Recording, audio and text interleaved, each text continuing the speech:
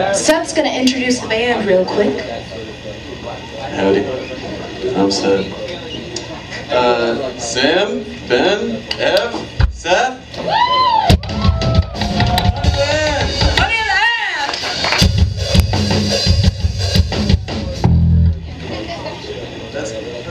This next one is about a girl who spoke her mind.